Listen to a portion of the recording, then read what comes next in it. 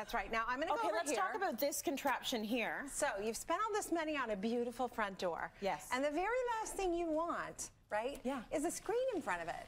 True. So, thank you, Phantom Screens, because now you can have a retractable screen that fully pulls away when the door is shut. So you can appreciate how Oh. pretty the door is. Oh, very nice.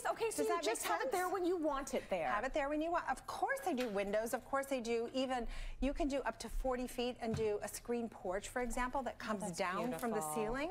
Yeah. But this is a, a latch and release technology. It's super easy. Yeah. You want to make sure there's every color in the world you can get here. You can customize it. The, the uh, mechanism, the discrete mechanism that the screen goes back into, you want to match it to the door frame. Right.